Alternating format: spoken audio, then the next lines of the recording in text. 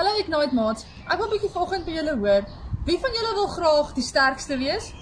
Wie van julle wil die belangrikste wees en wie van julle wil die vinnigste wees? Jy wil altyd die beste wees in alles. Ek het al gesien julle graad 1 en 2 maatjies daar by die skool in die ry staan en dan beklei hulle oor wie's voor in die ry en dan staan daar iemand voor en pluk hulle hom aan sy hemp en dan staan hy voor want want almal wil voor wees. Hulle wil eerste wees, maar dan voel dit vir hulle hulle is die belangrikste. Wie van julle wil dalk as julle atletiek hardloop wil jy heel eerste daar voor wees. Want dan voel dit vir jou jy's die beste in die hele skool. Jy wil heel eerste klaskaptein wees want dan voel dit vir jou jy's belangrik. En ons almal is op 'n manier is ons kompeterend. En Jesus se Jesus se disippels het onder mekaar beklei. Hulle het gestry, soos wat jy en jou boetie miskien partykeer by die huis stry of jy en jou sussie stry.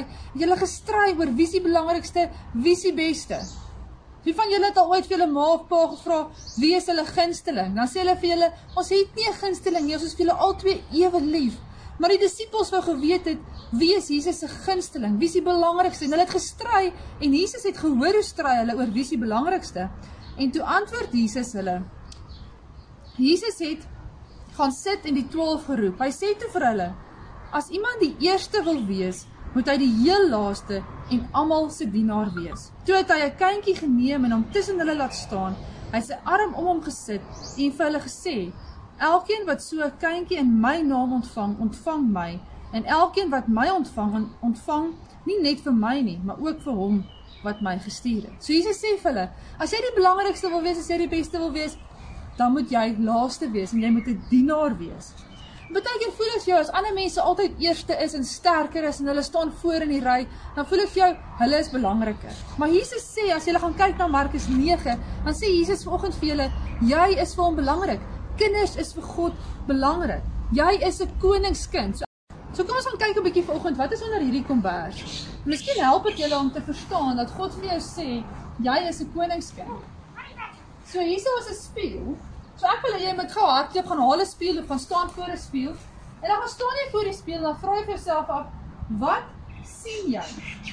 En jy moet jou eerste woorde sê. Sê dit vir mamma of pappa of ouma of oupa of 'n boetie of 'n sussie. Wat sien jy? Dalk dink jy vir jouself, "Ag, my ore is te groot of my neus is te lank of ek is vet geword in vakansie." Of jy dink vir jouself, "Ek is nie goed genoeg nie. Ander mense is altyd beter as ek." Of "Ek is nie vinnig genoeg nie. Ek is nie sterk genoeg nie. Ek is nie cool genoeg nie." Miskien het iemand al eers in jou lewe vir jou dit gesê, jy's nie cool genoeg nie of jy's nie goed genoeg nie. En jy het dit later begin glo, maar ek wil vanoggend vir jou sê, kyk in die spieël en dan hoor jy as ons vir jou sê dis 'n leuen, dis nie die waarheid nie. Jy is awesome, jy's cool, jy's goed genoeg. Hoekom? Want God het jou gemaak. Staan voor die spieël en sê vir jouself, ek is God se skepping. God het my gemaak en dit is die waarheid.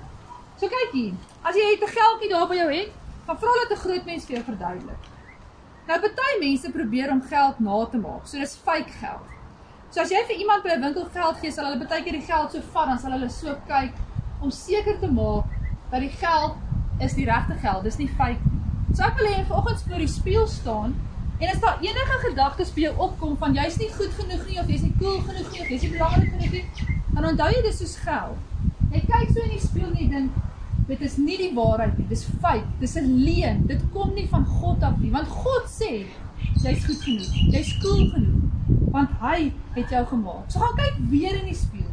En dan moet jy nou soos 'n kat wees. Want as 'n kat in die spieël kyk, dan dink hulle hulle is 'n leeu. Hulle dink hulle kan brul soos 'n leeu. Hulle is so sterk soos 'n leeu. Jy moet in die spieël kyk en jy moet dink ek kan enigiets doen. Hoekom? Want God is in jou en God het jou gemaak en dit maak jou belangrik. En jy is goed genoeg. En dit is hoe jy voor daardie spieël gaan staan vir oggend. En dan kan jy maar agter in die ry staan of jy kan maar heel laaste kom. Dis oukei. Okay. Want jy's 'n koningskind. Jy's 'n wenner. Maak nie saak wat nie.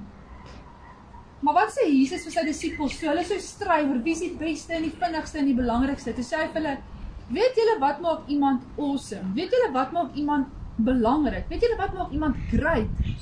Is as hy laaste is." Weet jy wat beteken dit? Jesus sê vir hulle, as jy wil awesome wees, as jy wil great wees, dan moet jy nie net aan jouself dink nie, maar jy moet ook aan ander mense dink. Ons moet ook daar wees vir ander mense en ons moet goed wees vir ander mense. So wees goed vir die mense in jou huis. Wees goed vir die maatjies by die skool, want dit maak jou awesome. Sterkte met met die skool wat begin een van die dae. Geniet dit nog by die huis, maar weet net, As jy in daai spieël kyk, jy is 'n koningskind. Julle moet 'n lekker week hê. Ons sien julle weer volgende week. Bye.